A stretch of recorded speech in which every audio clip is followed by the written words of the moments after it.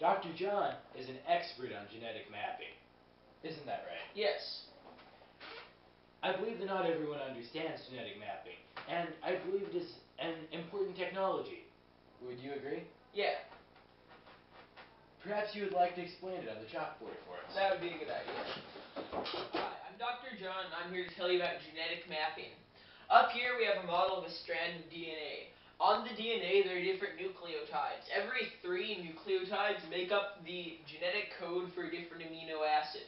During transcription, the nucleotides tell the ribosomes which amino acids to turn into proteins. A gene is the entire genetic map of the amino acids in a protein.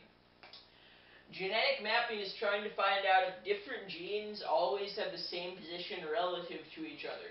So let's say this area up here is the gene for hair color, and this area down here is the gene for hair thickness. Genetic mapping would be trying to find out if they have the same position relative to each other almost every time. So if you successfully map this gene, you might find out that hair color is always above hair thickness. That is what genetic mapping is. And that's all for my presentation on genetic mapping. Uh, thank you very much, Dr. John. I believe we all found that very informative, and this is a very important new technology. But, um, what are the exact ramifications, or how will this be useful in modern medicine? I'll be doing a presentation on that soon. Well, I guess we'll be getting back to you. That's all for now.